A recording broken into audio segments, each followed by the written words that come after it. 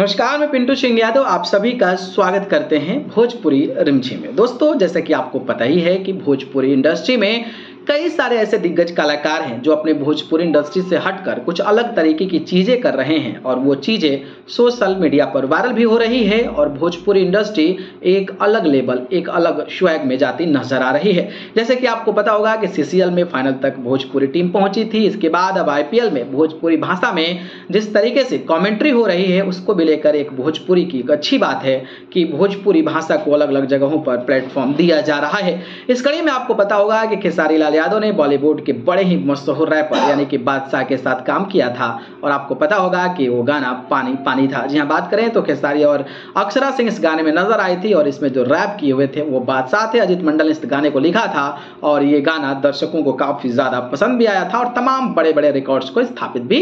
किया हुआ था तो खेसारी लाल यादव ने यह बड़ा कारनामा किया कि बॉलीवुड के इतने मशहूर जो कि नेशनल और इंटरनेशनल लेवल पर फ़ेमस रैपर हैं, उनको भोजपुरी इंडस्ट्री में लाया और भोजपुरी में रैप गवाया, जो कि अपने आप में एक बहुत बड़ी बात हो जाती है। इसके अलावा पवन सिंह भी लगातार पायल दे के साथ काम कर रहे हैं और भी तमाम बॉलीवुड के बड़े बड़े कंपनी और टी सीरीज़ से काम कर रहे हैं। तो ये भी एक अच्छा प्राउड मूवमेंट है और जिस तरीके से गुरु रांधवा ने पवन सिंह के